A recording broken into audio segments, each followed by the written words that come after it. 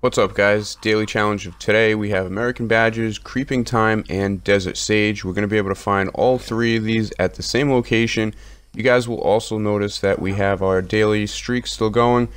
So you have Showdown Large, Fresh Produce Eaten, which is going to be pretty simple. We have uh, items sold to a fence, and you have players killed with shotguns in Showdown. So technically you can do a Showdown Large, like something like Name Your Weapon, and get those kills for your shotguns as well so you can bang two of those out at once.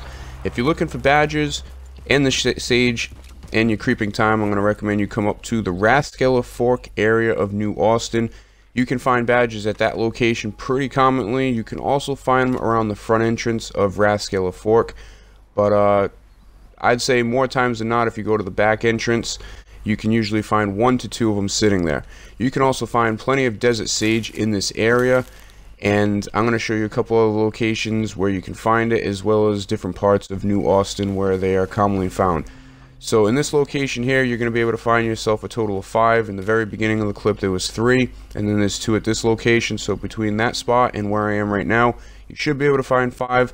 And there's a couple more locations over here that I'm going to end up highlighting but you can find these very commonly in this area here along the train tracks and then down to the south in between Gaptooth Ridge and Solomon's Folly there should be plenty of other locations where you can find your desert sage.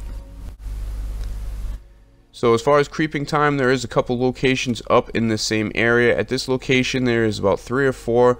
And the next clip, there is another location with four of them. So that should bang out that challenge pretty easily.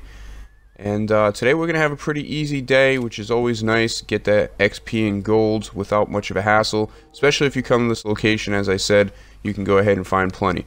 Now, as far as the fresh produce eaten, in Rathskeller, you can find yourself, I think, three to four carrots.